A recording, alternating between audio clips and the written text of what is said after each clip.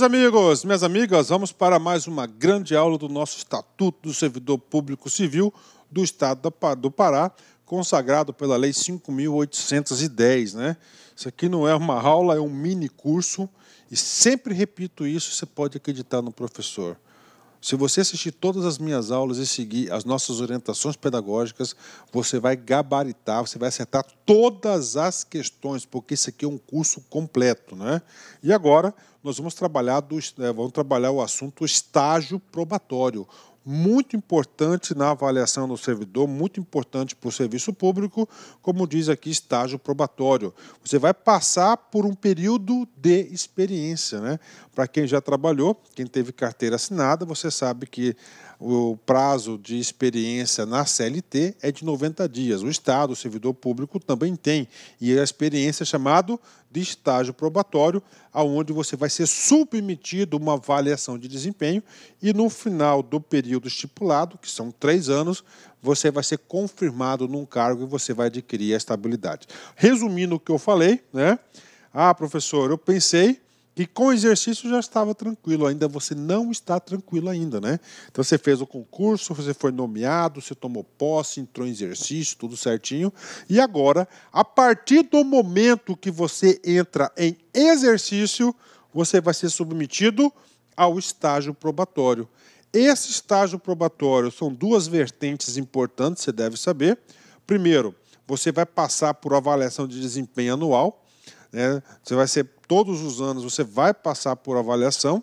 No caso do estágio probatório, você tem que ter três anos de efetivo exercício. Né? Após três anos de efetivo exercício no cargo, não pode ter afastamento, não pode ter licença. Né? Você, depois de três anos de efetivo exercício, mais avaliação de desempenho positivo, aí você sim consegue adquirir o sonho, o tesouro, que eu chamo a famosa estabilidade. Né? Professor, o que significa a estabilidade? Significa dizer aqui que você vai ter o quê? Você vai ser confirmado num cargo. Com a estabilidade, você somente perde o direito desse cargo, de estar ocupando o cargo em algumas situações específicas. Então, você tem o que? Estabilidade naquele cargo. Você agora é sim, é, você está estabilizado aí é, você está, tem estabilidade no cargo. Né? Professor, o que, que acontece aqui no estágio probatório? Se você não for aprovado em estágio probatório, você será o que? Exonerado. Né? Exonerado do cargo. Né? Já na estabilidade, você tem aí outras possibilidades. Inclusive, depois dessa aula que eu vou gravar agora, que eu estou gravando para vocês de estágio probatório, eu tenho a aula de estabilidade. Na aula de estabilidade, a gente vai relacionar todas as hipóteses na qual o servidor público poderá perder o direito ao cargo. Então, a aula de estabilidade, em seguida, completa a aula do estágio probatório. Estágio probatório, vamos lá, rapidamente está previsto na seção 5 do título 2 da Lei 5.810, do estágio probatório, artigo 32. Vem comigo. Ao entrar em exercício, o servidor nomeado para o cargo de provimento efetivo ficará sujeito a estágio probatório por período de três anos, durante os quais a sua aptidão e capacidade serão objeto de avaliação para o desempenho do cargo, observados os seguintes fatores. Né? Vamos lá, o que, que o examinador pode complicar na sua vida? Ao entrar em exercício, tá? atenção, inclusive nós vamos fazer algum exercício que o cara, é, alguma, alguma atividade hoje na aula, que o examinador ele trocou a palavra exercício por posse, está errado, né? Então você tomou posse, você se apresentou, cumpriu todos os requisitos para o exercício do cargo, mas você ainda não entrou em, exercício, né? Você tem um prazo para entrar em exercício que é de 15 mais 15. Só depois do efetivo exercício da, do desempenho real das atividades do cargo que você pode estar sendo submetido ao estágio, ao estágio probatório. Bacana. Então, primeira coisa, exercício, né? O período do estágio probatório, três anos, né? Professor, por que, que é três anos? Para atender né, o artigo, atenção, para conciliar o artigo 41 da Constituição Federal de 88. Né? Esse artigo 41 trata da estabilidade. E na estabilidade são três anos. Então aqui, inclusive, tem aqui uma alteração recente, com certeza lá em 94, né? O período seria dois anos, né? 94, dois anos. Tivemos a emenda 18, eh, a emenda 18 a emenda 19 da Constituição Federal, que alterou o prazo para três anos. Bacana. Então, nesses três anos, ele será o quê? Avaliado, avaliação de desempenho. Tá? Ele vai ser avaliado no cargo, é o estágio probatório, e nessa avaliação, né, serão observados cinco critérios de avaliação. Primeiro critério, assiduidade. Segundo critério, disciplina. Se obedece às ordens do chefe, né? Capacidade de iniciativa, produtividade e, finalmente, responsabilidade. Então, durante três anos, ele vai ser submetido à avaliação de desempenho e nessa avaliação de desempenho ele vai avaliar se o servidor é assíduo, ele tem disciplina, tem iniciativa, tem produtividade, tem responsabilidade, né? Prof, o que, que você fala sobre isso? Uma opinião pessoal, né? Na minha opinião, essa, esse período de três anos, a administração pública é muito frouxa, né? Todo mundo passa, quase todo mundo é aprovado, né?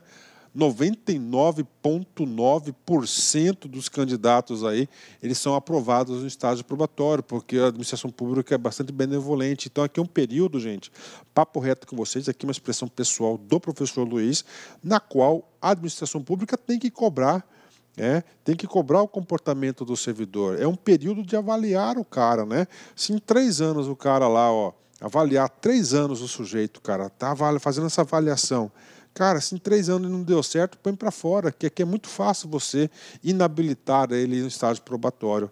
Tá? Então, o estágio probatório, você é habilitado ou inabilitado. Habilitado que você foi aprovado, você foi confirmado no cargo. Né? É uma oportunidade para tirar o povo ruim da administração pública aí, que é o pessoal que só denigre a imagem dos servidores públicos. Bacana? Ok, cai em concurso? Claro, vem comigo aqui. TJ Pará, VUNESP 2014, cargo de analista, estabelece o regime jurídico único para que fins de aprovação em estágio probatório serão observados os seguintes fatores. Né? E aí, professor, nós temos o quê? Cinco fatores que serão avaliados durante o estágio probatório. Você já sabe. Primeiro, assiduidade. Segundo, disciplina capacidade de iniciativa, produtividade e responsabilidade. Ou seja, a aluna que dá lá concurso acerta uma questão como essa com os pés nas costas. Né? Gabarito correto é a letra B de bola. Né?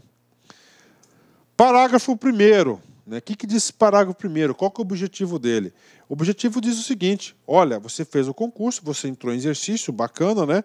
Você tem três anos para ser avaliado quatro meses antes do término do estágio probatório, você vai ser submetido, o seu estágio vai ser submetido aí à homologação e aprovação ou inabilitação do seu desempenho pela autoridade competente, né? Quatro meses antes do fim do período do estágio probatório, será submetida à homologação da autoridade competente a avaliação de desempenho do servidor, realizada de acordo com o que dispuser a lei ou regulamento do sistema de carreira, sem prejuízo da continuidade da apuração dos fatores enumerados no inciso 1 a 5 deste artigo. Ou seja, quatro meses antes de encerrar, já vai a homologação do estágio probatório, porque aí eu vou te falar, né? O que, que acontece? É aquele pequeno percentual das pessoas que são inabilitadas, né? Em quatro meses antes foi lá a comissão lá, o decreto o resultado foi pela inabilitação no estágio probatório. Então ele vai ser o quê? Exonerado de ofício. Né? Ele vai ser exonerado. Só que aí ele pode entrar com recurso, ele vai ter o devido processo legal, ele vai correr atrás administrativamente para reverter essa decisão. Ele pode alegar, alegar é perseguição e um monte de coisa, cara. Eu conheço esse contexto aí. Professor, então meu estágio probatório, na verdade, é de dois anos e oito meses? Não, são três anos. O que, que diz sabiamente o artigo? Na parte final, ó sem prejuízo da continuidade de apuração dos fatores. Né? Então o cara chegou lá em dois anos e oito meses, ou seja, quatro meses antes de encerrar o estágio probatório, ele foi aprovado. Aí ele relaxou total. Não foi pontual, inascido, não teve produtividade, nenhuma iniciativa, nada. Relaxou geral. E aí? E aí esses quatro meses serão, poderão, vão ser avaliados também, que pode invalidar a sua aprovação, com certeza. Bacana? Então tá aqui para vocês o parágrafo. Prof, esse cara cai em concurso? Claro que cai, meu. No período de tal, tal, tal, antes do fim do, estágio probatório. O que, que diz isso aqui? Qual que é esse período? Quatro meses, né? No período de quatro meses antes do fim do estágio probatório, será submetida à homologação da autoridade competente a avaliação do desempenho do servidor, realizada de acordo com o que dispuser a lei ou regulamento é, do sistema de carreira. A expressão que completa corretamente lacuna é quatro meses, inclusive o que? É o parágrafo primeiro do artigo lá da, o artigo que traz o estágio probatório da lei. Muito fácil, aluno da LAC acerta isso aqui. Quatro meses antes vai ser o período que vai para a homologação. Bacana? Letra B de bola. Fácil questão. Parágrafo 2 Vem comigo. O servidor não aprovado no estágio probatório, ou seja, ele foi inabilitado no estágio probatório. Professor, e aí? Ele vai ser punido? Não, ele não vai ser punido. Por que, que não vai ser punido? Porque ele não tem a estabilidade. Tá? Ele está em um estágio de quê? De avaliação daquele período, da experiência de três anos. Então ele será exonerado. Exoneração é um tipo de vacância. Tá? Ele será exonerado de ofício, seja, por vontade da administração pública. Puxa, professor, é a segunda vez no nosso estudo que a gente já viu esse instituto, sim? Quando o cara toma posse e não entra em exercício no prazo previsto de 15 e mais 15, né, que está lá na lei, ele será o quê? Exonerado de ofício. O mesmo instrumento, o mesmo ato vai se aplicar. Neste caso aqui, ele foi inabilitado, ele não foi aprovado no estágio probatório. Então, pegadinha de concurso, a banca vai falar que ele vai ser punido. Não vai ser punido, né? Ele vai ser exonerado do cargo. Tá?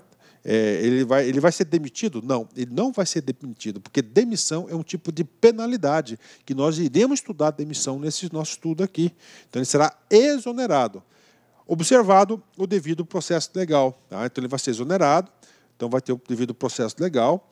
Nesse processo de exoneração pela não inabilitação, pela não aprovação no estágio probatório, ele terá todas as prerrogativas de fazer a sua defesa, né? ampla defesa e direito contraditório, todas as fases do processo, então, devido processo legal formalizado, certinho, com prazo, recurso e assim por diante. Né?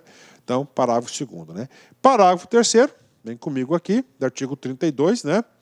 O disposto no caput deste artigo não se aplica aos servidores que já tenho entrado em exercício. Olá, meus amigos, minhas amigas, sou o professor Luiz Antônio de Carvalho, com muito prazer muita satisfação. Estou aqui para fazer um convite muito especial para a galera aí do nosso querido estado do Pará. Eu, professor Luiz, eu gravei artigo por artigo, assunto por assunto, super organizado, o regime jurídico único estatutário do estado do Pará, consagrado pela lei 5810. Um curso muito competitivo que eu tenho certeza, se você assistir todas as nossas videoaulas, este curso tem mais de 14 horas de aula gravada, um curso completo aqui que é uma aprendizagem completa, uma aprendizagem que realmente faz você ser aprovado no concurso, né? Realmente faz você ser aprovado no concurso. Essa nossa isolada são 60 dias de acesso que você tem direito, né? Investimento apenas 50 reais, mas eu digo para vocês que realmente vale a pena fazer esse curso aqui na Lá Concurso, essa nossa isolada. Quer se matricular? Clica aqui embaixo, nós temos um link que vai direto para o site lá para você se matricular. Tudo bem, pessoal? Um forte abraço, fique com Deus, espero vocês aqui na Lá Concurso. Tchau, tchau.